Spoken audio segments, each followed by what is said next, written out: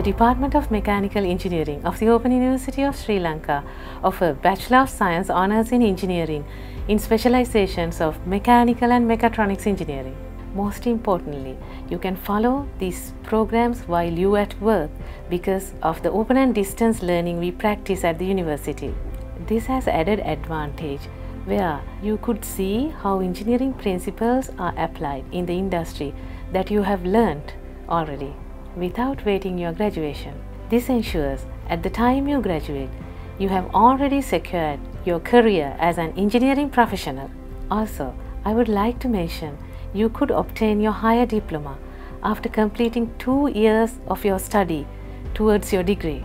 This undoubtedly gives you an opportunity to find very relevant employment in your career. In our department, we offer assistance to achieve your goal through well qualified staff. Also, we have experienced technical staff with us to support you in laboratory experiments.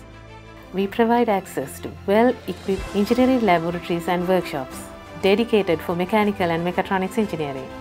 Our modern laboratories include dedicated mechanical workshop, thermofluid laboratory, applied mechanics and strength of material laboratory, automobile engineering laboratory, industrial automation laboratory, manufacturing automation systems laboratory, materials engineering laboratory, control system laboratory, and electronic laboratory.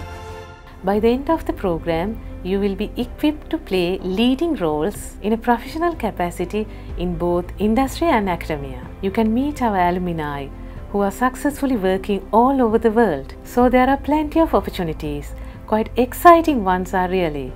Apply today. Mechanical engineering, gearing for future.